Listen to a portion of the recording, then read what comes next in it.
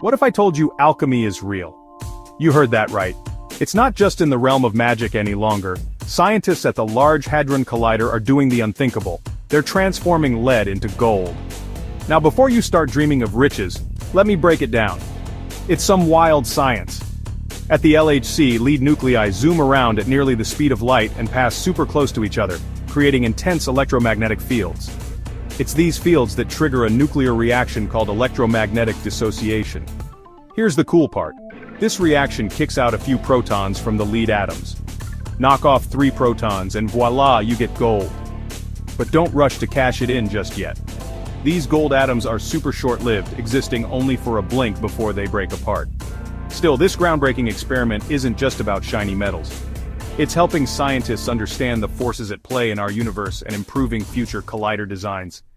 Who would have guessed those old-timey alchemists were right all along? Stay curious and stay tuned to Tidbot.